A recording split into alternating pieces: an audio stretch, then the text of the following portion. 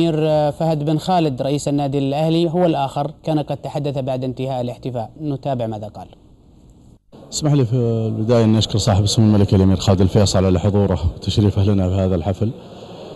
أنا أعلم شخصيا أن الأمير خالد الفيصل ما وصل جدة اليوم إلا الساعة 7 المغرب بعد رحلته إلى الطائف. أه تقريبا ما 400 إلى 450 كيلو كان في السيارة الله يحييه. أه شرفنا اليوم بهالحضور. آه شيء ثاني الرجل المكرم. هذا أقل ما يقدم له. شفنا اليوم جميع أندية الوطن أو غالبية أندية الوطن كانت حاضرة من جميع مناطق المملكة.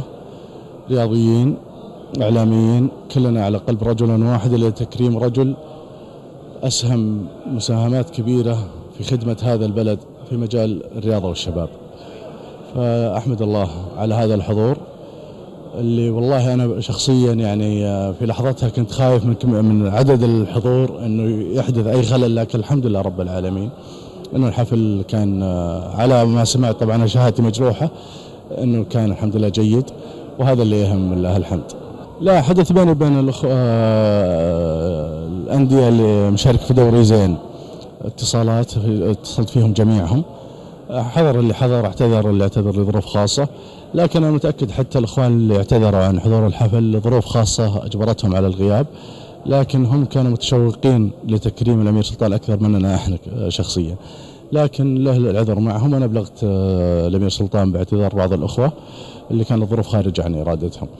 فالحمد لله اللي بقوله إنه شفنا اليوم مثلا بحكم اني رئيس النادي الأهلي. شفت الأخ المهندس إبراهيم علوان اللي أتحمد له بالسلامة اولا. كنا كلنا على رئيس نادي الاتحاد كنا كلنا على قلب رجل واحد. كلنا نرتدي شعار الوطن لتكريم سلطان بن فهد. فهذا ندل على شيء والله الحمد لله إن رياضتنا بخير. رجالات الرياضة أرفع وأرقى من أي طرح ممكن يحدث سواء في الملعب أو من أو خارج الملعب من بعض سواء جماهير أو قلة من الجماهير أو بعض أو قلة من الإعلام. فالحمد لله هذا كله يدل على معدن الشعب السعودي هو شعب وفي للقيادات. والحمد لله إحنا في النادي الأهلي زي ما ذكرت أخوي رجاء هو ما كان الأول ولا هو الأخير إن شاء الله. فهذا يدل الأهلاوية الوفاء للجميع.